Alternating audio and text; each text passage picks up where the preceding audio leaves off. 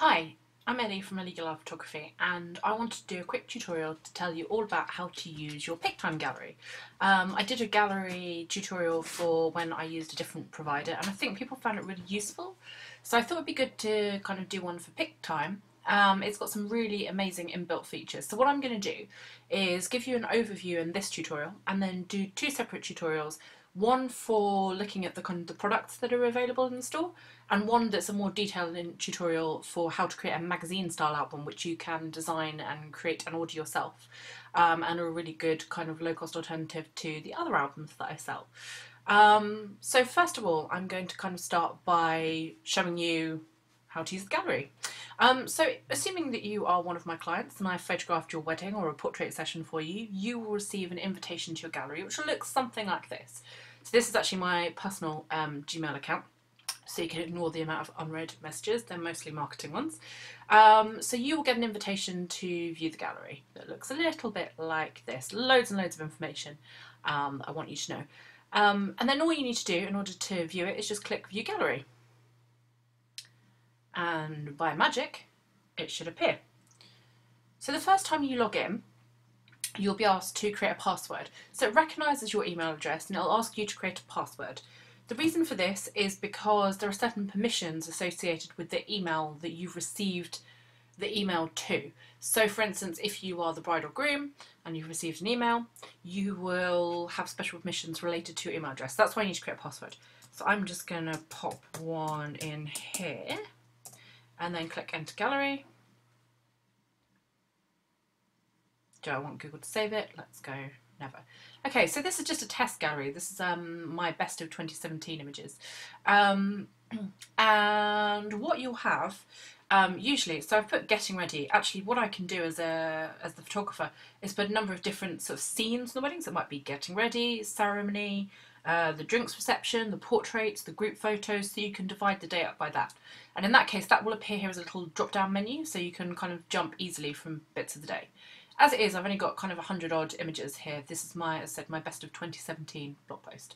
And you can see the way it's displayed. It looks rather lovely. Some images are automatically bigger than others. But what I can do is decide that that image maybe isn't as important as, say, this image. And so I can make that one bigger. So I can go through and control and customize the look of the gallery that way. So that's controlling and customizing my view. I can also decide if there's images that I want to hide for whatever reason. It might be that you think there's something inappropriate there or you don't want to share it with everyone. That's absolutely fine, I understand. Um, so what you need to do is just go click to hide from guest and then that will kind of vanish. Um, and then when you come to share the gallery, it won't be in the gallery. So I might decide to hide that one as well. And there we go. So the hidden photos now go to their own gallery here. So only the person that's logged in with email address that's on the initial email invite can log in and see those. Everyone else can't. So anyway, let's go back to the gallery. So um, we have a couple of other features kind of built in. So in each photo we have the opportunity to favourite it, to email it, to share it on Facebook or to download it. Um, so we can choose to do that with any single image in the gallery. Um, if you click email, it will go and be saved up here. So you can basically click and create a little short list of photos that you want to email. And then go to share photos. You've created a little collection there and you can add an email. So for instance, you might want to email some of your favourite photos the day from the day to your mum. Um, all you need to do is add in her email there and then you can share just those four favourites that you've wanted to share with her. Um, again, with friends, you might have a couple of great images of them. So you can click the email icon on each of those images, create that little collection, and then email that directly to your friends so that they see the four images of them. So you don't need to share the entire gallery with them.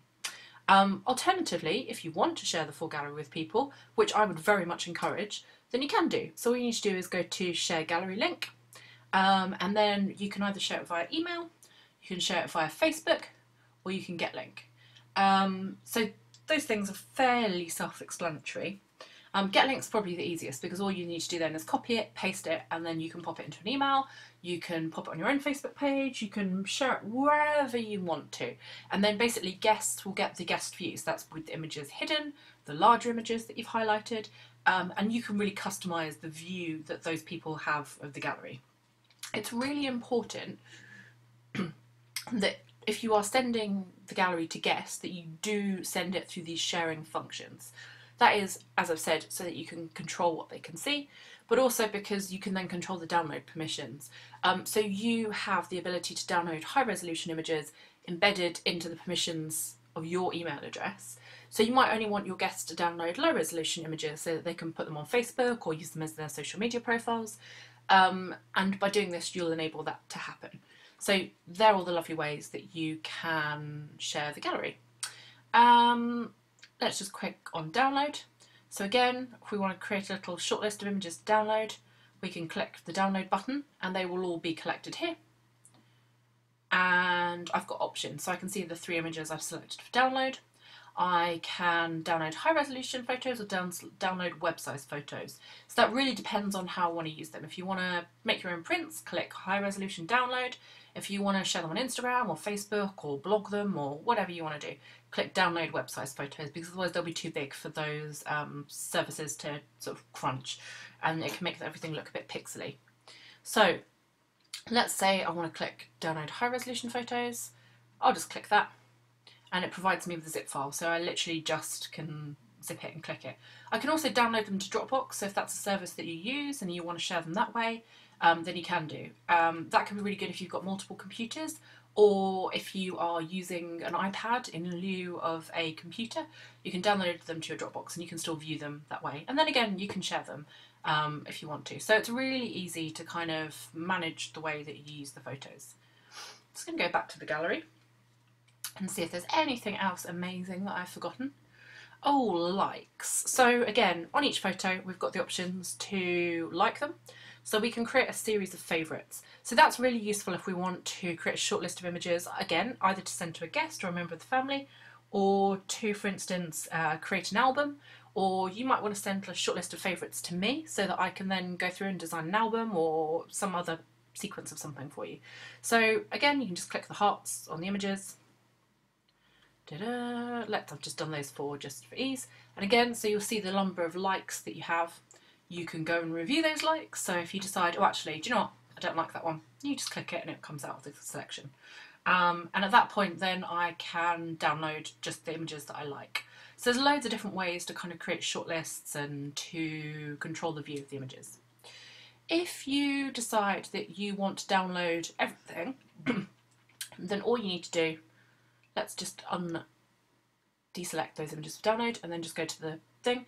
I've got then the option, if I've got no specific images flagged for download, then I can just download all the photos. So I can either download them all high res or download them all web size. Um, and then again, it just reiterates to select specific photos, click on the download icon on the photo. Okay, uh, that's a really quick overview. I'm just going to click in here so you can see again, you can just scroll through your images, uh, you can view everything this way. So it's a really nice way to see everything and you can see it moves really quickly, looks great, really easy to share and I'm really in love with it. Um, have a look at the next couple of tutorials I'm going to do. I'm going to talk in a little bit more detail about the shop because there are loads of really lovely functions in there and it makes it very easy to kind of visualise the products that you might want to buy and I'll touch on also the designing the magazine style album. Okay, thanks for now um, and I hope you found this tutorial useful. Let me know if you want to know any more and I will catch up with you next time.